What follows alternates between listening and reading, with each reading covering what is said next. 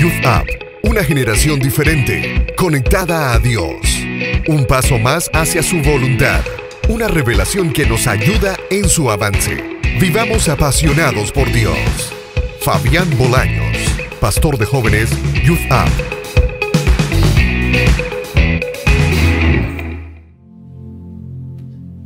El día de hoy vamos a estar hablando acerca de un tema muy, muy importante que tiene que ver con algo que todos los que estamos aquí, de una u otra manera, hemos experimentado, posiblemente en algún momento. Por lo que titulado al mensaje, Descansemos en Dios. Diga conmigo, descansar en Dios. Y podemos ver a Jesús haciéndonos una invitación que muchas veces no ponemos la atención que deberíamos de ponerle. Vamos a estar en Mateo capítulo 11, versículo 28. Y tengo dos preguntas para hacerles a ustedes.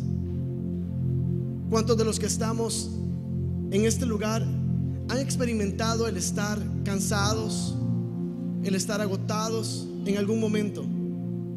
En ese momento donde todas las agujas están acostadas al lado izquierdo y ya no dan más.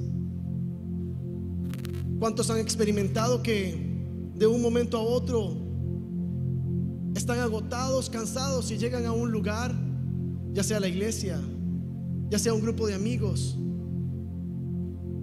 y de repente todo el cansancio, todo el agotamiento que tenían pareciera desaparecer por completo? ¿Lo han experimentado? Eso es porque al estar felices y de buen humor, aún el cansancio, aún el cansancio físico se puede superar. Por eso debemos de estar felices, alegres en todo momento. Ahora miremos el otro lado. Hemos descansado y de repente hemos dormido por mucho tiempo y nos levantamos con esa sensación de pesadez, sin ganas de hacer absolutamente nada. No tenemos razones para sentirnos agotados, pero estamos lentos, estamos cansados. Imagínense que llegamos al trabajo después de haber dormido suficiente, pero el desánimo emocional nos drenó. Y entonces estamos deseando que ya sea hora para irnos a nuestras casas y entonces poder descansar. Llegamos a la casa y parece increíble, pero sentimos exactamente igual. Y eso es porque emocionalmente no estamos bien en la palabra en Mateo capítulo 11, versículo 28, veamos lo que nos dice Jesús. Y dice la palabra, vengan a mí, todos ustedes que están cansados y agobiados. Cuando leemos esta porción de la palabra, hay una acción que está hablando y dice, venga aquel que entienda que está cansado, aquel que entienda que está agotado, venga a mí y vea el ofrecimiento y yo les daré descanso. ¿Sabe algo? Jesús espera que usted y yo descansemos en paz ahora y no cuando ya no haya absolutamente nada que hacer. El verso 29 dice, carguen con mi yugo y aprendan de mí, pues yo soy apacible y humilde de corazón y una vez más viene y nos dice, encontrarán descanso para su alma. Gran invitación de parte del Señor. Como dato interesante, Mateo es el único de los cuatro evangelistas que viene y registra esta poderosa invitación. Hay una cantidad de pasajes que son comunes para los evangelistas, pero este solamente Mateo vino y tomó nota de él. y parece extraño. Seguramente me imagino, él era el más agotado de todos. Porque cuando alguien viene y me dice que hace clic en nosotros algo de lo que alguien está diciendo, es porque lo consideramos a partir de nuestras propias sensibilidades. Mateo era una persona muy cansada. Él era un publicano y los publicanos eran personas de mala fama. Eran odiados porque porque le habían vendido su alma al imperio romano. Ahora cobraban impuestos, los cuales inflaban para hacerse ricos y cobraban a su propia gente, a sus familias, a sus vecinos. Nadie, absolutamente nadie los quería. Tenían que estar protegidos en ese momento mientras cobraban por algunos soldados. Sus fiestas eran llenas de excesos. Entonces era alguien con un cansancio, cansancio de la vida, cansancio del alma. Es un cansancio o un agotamiento diferente. Estaba cansado porque la religión no lo aceptaba. No podía ir a la sinagoga. Estaba cansado porque la corrupción propia heredada del sistema lo tenía, lo deformaba y la desproporción de su sistema de vida lo tenía profundamente en su interior deprimido. Cuando se habla de descanso, alguien pensará en el cuarto mandamiento. Seis días trabajarás, dice la Biblia en Éxodo 20. En él harás todo lo que tengas que hacer. Y el séptimo día vas a ir a descansar. Curioso. Pero en Cristo, en Cristo ya no es un día específico, sino más bien que es una persona. Y el libro de Hebreos presenta a Cristo como el reposo, como el descanso para usted y para mí. Aunque también es importante entender que al menos un día a la semana debemos de detenernos, debemos de descansar. Vamos a ver en este pasaje tres diferentes tipos de cansancio o de agotamiento que viene el Señor eh, y ofrece descansarte a ti y a mí. El agotamiento es una característica en nuestros días, muy clara. Muchos hemos estado así. Sabemos que no son tiempos fáciles. Tenemos que competir para poder mantener el trabajo en el que estamos. Hay mucha competencia, hay mucha lucha tenemos que ponerle mucho empeño, trabajar muy duro al punto de que muchas veces tenemos que llevar nuestro trabajo hasta nuestra casa y robar tiempo esencial y especial de nuestra familia. Aquí vemos a Jesús hablándonos de tres cosas de las que Él quiere descansarnos a usted y a mí. El primer descanso que puedo ver es el descanso de la religión. Cuando Él dice en el verso 30, porque mi yugo es suave y mi carga es liviana. Él está hablándole directo al sistema religioso judaico que fue puesto para declarar dónde estaban bien o dónde no lo estaban. Ellos habían convertido en una religión con características propias, con un entendimiento humano, claro, los fariseos que estaban como parte del público y todas sus reglas estaban escuchando.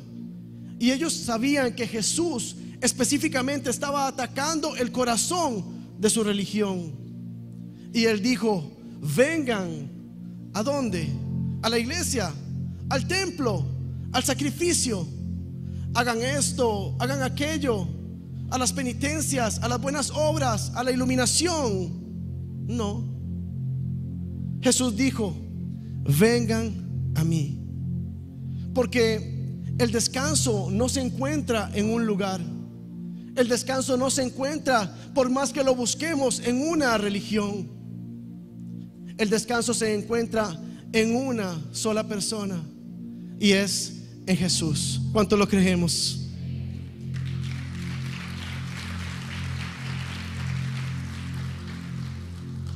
La religión viene y tiene este argumento, trabaje más, esfuérzate más, no hagas esto, pero haz aquello. Pareciera que Dios todavía no está complacido ni con usted ni conmigo. Tenemos que seguir prácticamente llevando, empujando, presionando más duro y por más tiempo. Y Jesús vio los corazones de aquellas personas que estaban completamente aplastadas debajo de todo un sistema religioso, sobrecargados, estaban ansiosos, estaban estresados. Y el Señor viene y les ofrece un camino mucho mejor. La religión tiene una característica secundaria y es que viene y genera autosuficiencia. Creemos que todo lo podemos hacer y se refleja en el orgullo propio de muchos de nosotros. Y se piensa que Dios está, pero yo tengo que hacer algunas cosas para que me lo pueda ganar. Yo tengo que mejorar, hacer esto otro. Y a eso la, Biblia lo llama justicia propia. Y quiero decirles una tendencia humana. Somos un poco, por decirlo de alguna manera, subidos. Sabelo todo. Y pretendemos saber lo que necesitamos y también cómo poder conseguirlo. ¿Y qué es lo que ocurre acto seguido? Generamos nuestra propia manera de poder llegar al cielo porque estamos asustados, tenemos pánico de no poder lograr arreglar cuentas con Dios. Es la tendencia de reaccionar de manera impulsiva frente a las necesidades y a las dificultades. Y entonces, ¿qué hacemos? Nos lanzamos a la acción en búsqueda de nuestras propias respuestas. Ya no ocupo de nada ni de nadie. Y entonces empezamos a suplir nuestras propias necesidades sin ayuda ni el consejo de parte de Dios. Cada año he tenido el privilegio de poder dar algunas palabras al inicio del mes de la patria. A pesar de ser extranjero, Dios me ha concedido ese privilegio. Y recuerdo estar en uno de esos momentos importantes frente a autoridades, frente a muchas personas. Recuerdo estar ahí, había tomado mis notas, las había puesto en mi tablet y todo marchaba muy bien. Cinco minutos antes alguien se me acerca y, y me dice, pastor, en cinco minutos le corresponde a usted su turno para poder pasar. Y yo le dije, muchas gracias. Pero no me va a creer qué fue lo que me pasó. Agarré la tablet, la encendí, ya no sabía ni qué hacer. Estaba completamente descargada. Empecé a sudar frío.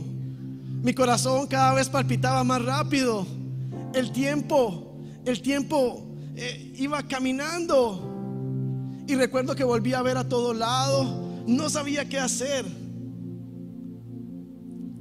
Y de repente un joven se me acercó y me dice, pastor, ocupa esto. Gloria a Dios por ese joven porque me dio un, un, cargador portátil. Y en esos dos minutos que estaba ahí, la, tablet, la tableta se pudo cargar y alcanzó para poder hacer lo que tenía que hacer.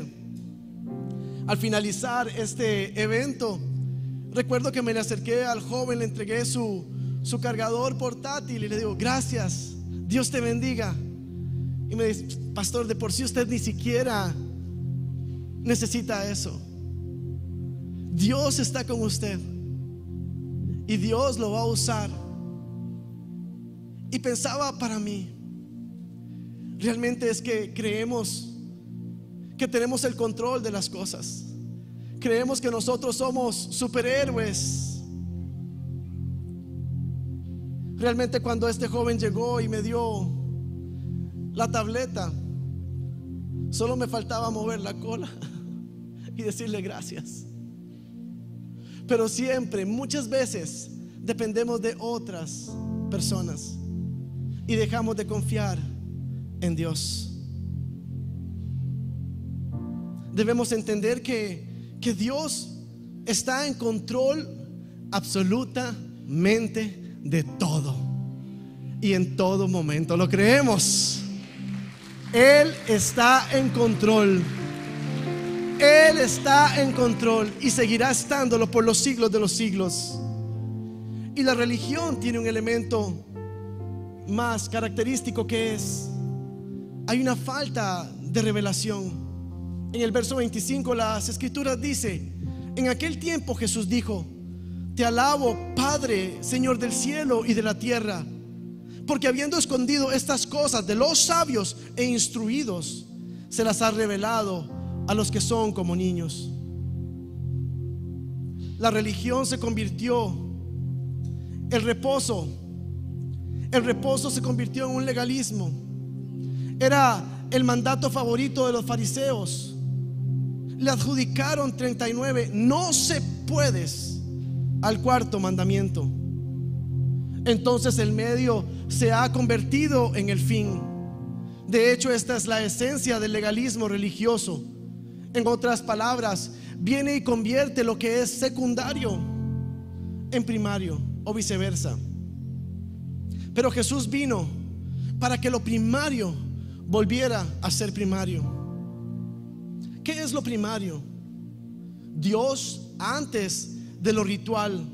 Su palabra poderosa antes que cualquier tradición. La revelación de que se trata de una persona antes de una afiliación a una organización o algún lugar. Se trata de una persona, como aquel joven que, que en el mundo evangélico, él había entendido que para poder agradar a Dios tenía que hacer y hacer y hacer. Claro, hay una parte que nos corresponde a usted y a mí. Debemos de servir, darle a Dios. Pero este joven había entendido que solamente tenía que dar, dar de todo, a tal punto que llegó a estar tan agotado.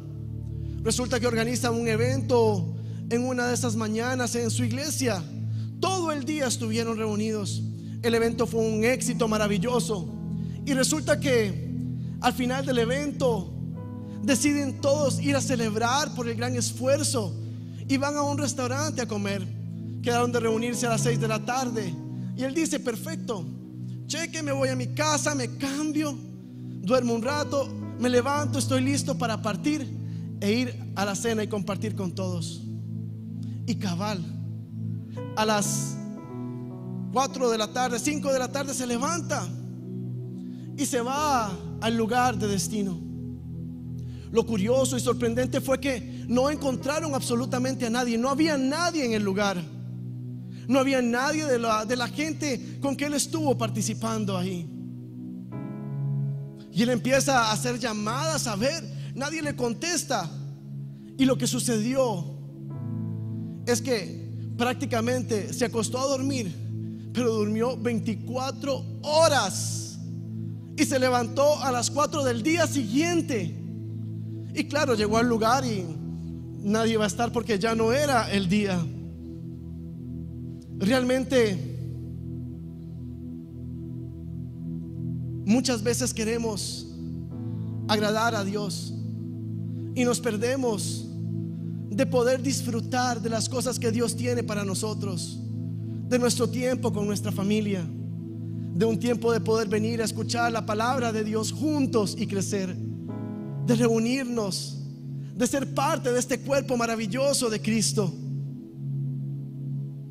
Saben, el Señor no quiere aplastarnos ni a ti ni a mí. Él no quiere que quedemos sin fuerzas. Él no quiere dejarnos ahí. Qué triste pensaba que trabajamos mucho y no podemos disfrutar de aquellas cosas que Él quiere que usted y yo disfrutemos. Jesús dice, yo quiero hacerte descansar de la religión. Y cuando Él dice, consumado es lo que había que hacer para que quedáramos en paz con el cielo. Ya usted no lo tuvo que hacer. Lo hizo Él una única vez y para siempre en la cruz del Calvario.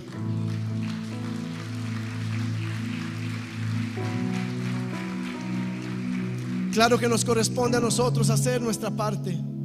Nosotros, usted y yo, hacemos lo natural y Él se encarga de hacer lo sobrenatural. La segunda área en la que Jesús nos quiere hacer descansar es muy usada para otros y no para nosotros. Nos asustamos cuando la pensamos que podríamos ser nosotros, pero solemos utilizarla y lo digo con mucho respeto para los políticos. Y es que Jesús nos quiere hacer descansar de la corrupción. Entonces el segundo descanso es el descanso de la corrupción. Es una palabra fuerte, es una palabra que no usamos para nosotros. Y quiero decirle por qué Mateo utilizó esta palabra. Él oyó aquello. Vengan a mí los que están cansados y trabajados y yo los haré descansar. Y él cuando esbozó este evangelio, él viene y lo pone. Porque me imagino que le llegó profundo en su corazón, fuerte le llegó. Porque él vivía en un mundo corrupto. Y Mateo era un hombre profundamente corrupto. En el verso 20 dice, entonces comenzó Jesús a denunciar a las ciudades en que había hecho la mayor parte de sus milagros porque no se habían arrepentido. Palabra fuerte. Hay de ti, Corazín. Hay de ti, Bethsaida. Si se hubieran hecho en Tiro y en Sidón los milagros que se hicieron en medio de ustedes ya hace tiempo, ya se habrían arrepentido con muchos lamentos.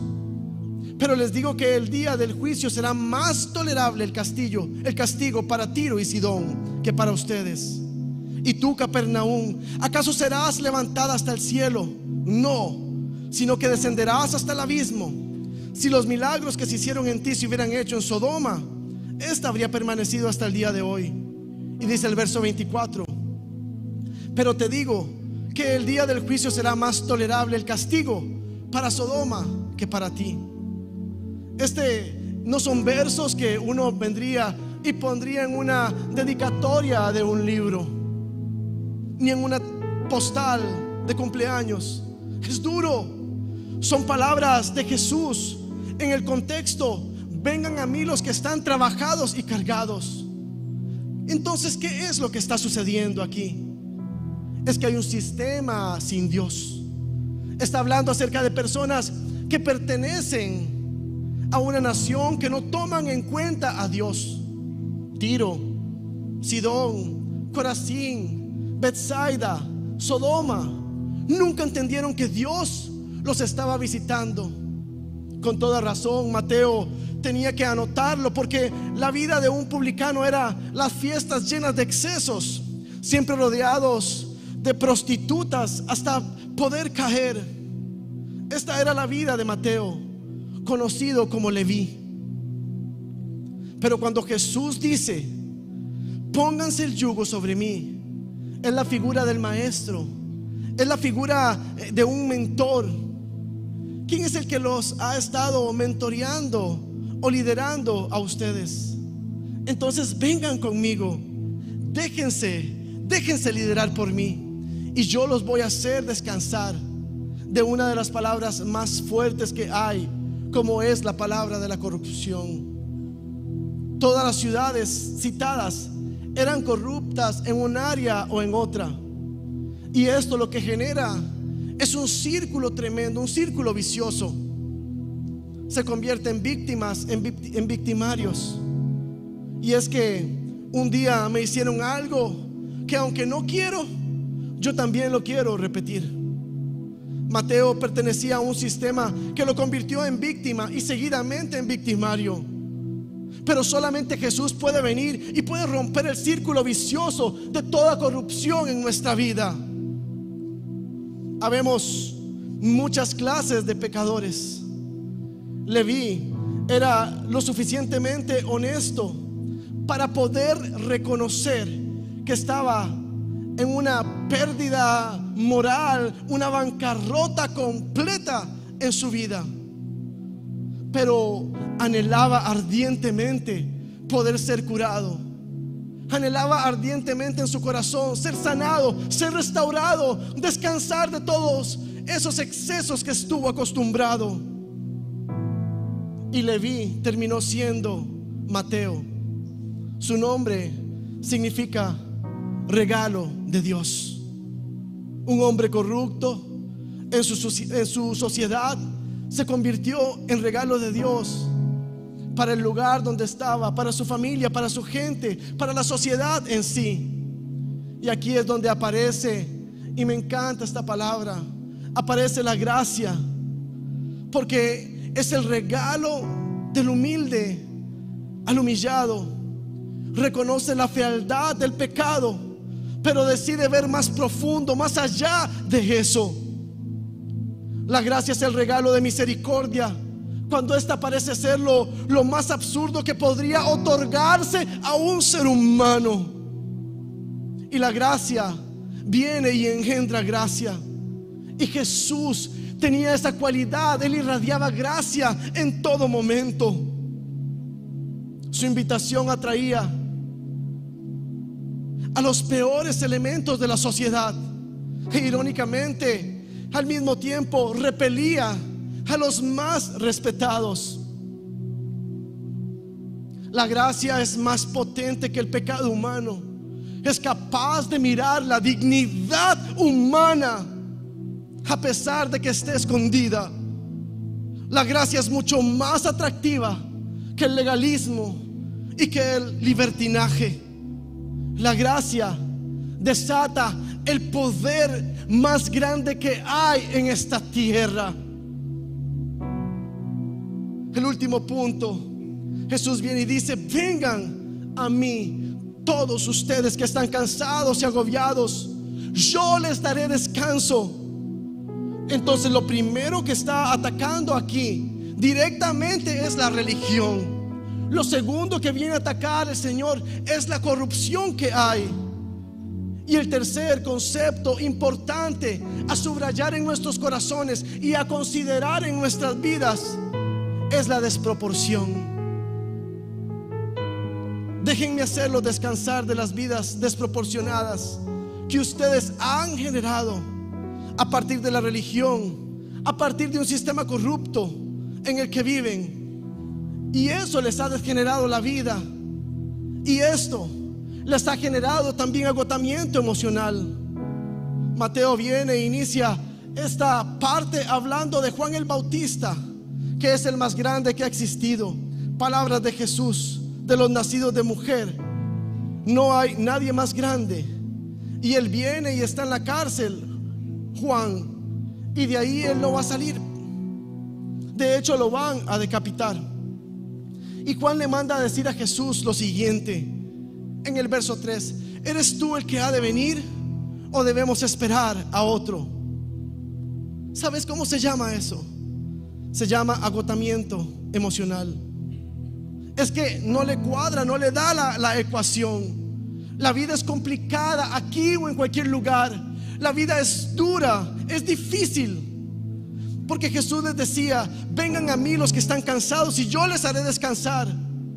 Juan sufría en este mundo de desproporciones, hambre de poder como Herodes, el valor materialista de los invitados a la fiesta, superficialidad de Herodes y de su hija Herodías. Había una corrupción terrible.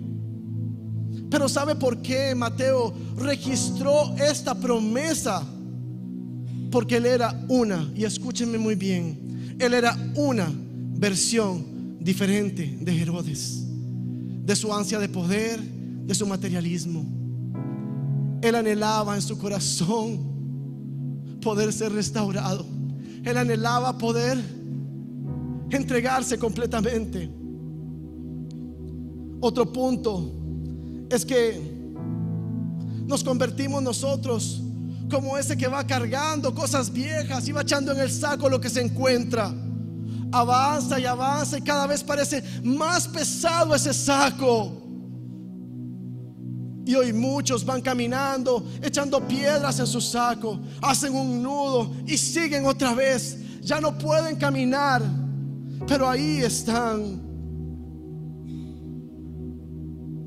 Eso realmente no solo es pesado, sino que me agota.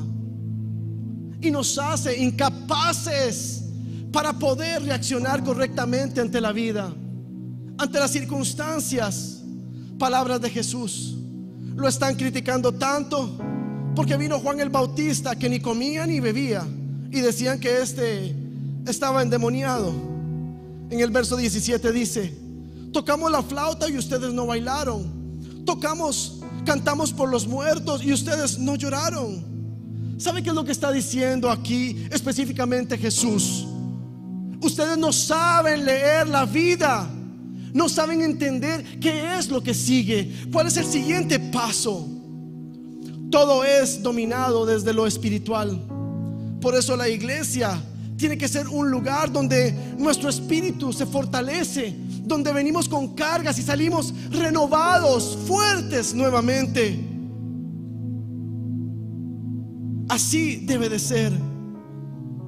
Dios que es espíritu habla y lo material es hecho. Lo material depende de lo espiritual, igual que lo emocional. Todo es dominado por lo espiritual. Afecta mis motivaciones y prioridades. Y vemos entonces a Jesús diciéndole a una iglesia en un momento, es que has perdido tu primer amor. ¿Qué fue lo que pasó? Estaban haciendo cosas correctas en el contexto, pero realmente no sabían descansar en Dios. Y es que solo en Jesús todo, absolutamente todo, toma su forma correcta, su dimensión y su posición. Él es Jesús. En un momento, hace tiempo llegué a sentirme sumamente agotado, sin fuerzas. Ya en mi familia empezaban a haber roces cada vez más fuertes. Y doy gracias a Dios por mi esposa. Doy gracias a Dios por mi familia. Doy gracias a Dios por mis pastores. Doy gracias a Dios por las personas que tenemos cerca aquí, que amamos, que están pendientes no de lo que tú haces, sino de lo que tú eres. Y entonces pude empezar a hacer ajustes en el plano laboral, en el plano familiar. Y he podido equilibrar mi tiempo y cuando necesito descansar, pues entonces descanso. Hoy les puedo decir que esta palabra que les estoy compartiendo, primero ha pasado por mí. Y recibí la invitación de Jesús. Y entonces poder detenerme y revisar.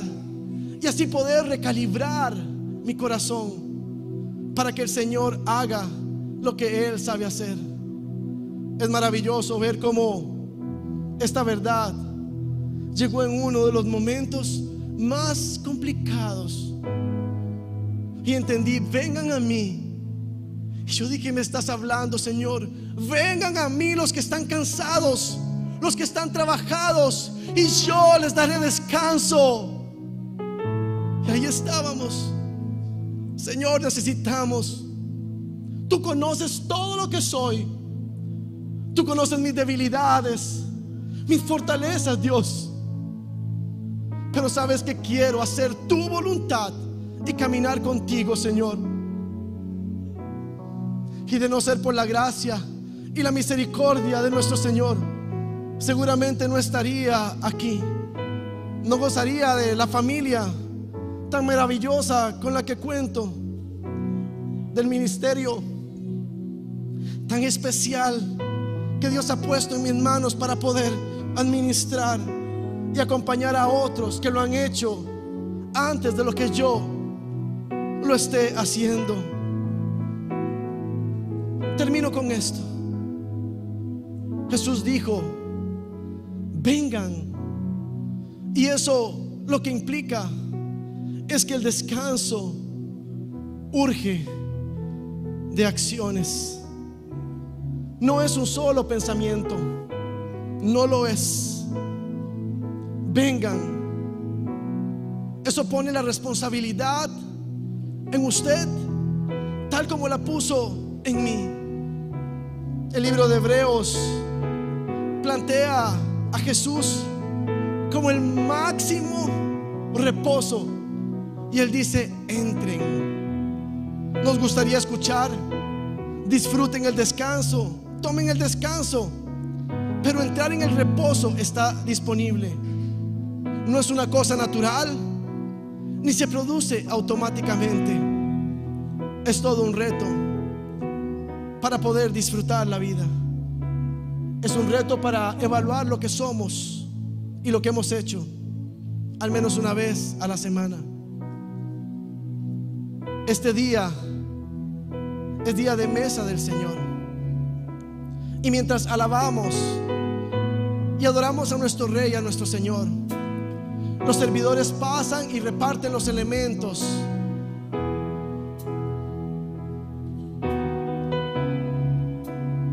Y le damos gracias a nuestro Dios. Youth Up, una generación diferente, conectada a Dios. Un paso más hacia su voluntad. Una revelación que nos ayuda en su avance.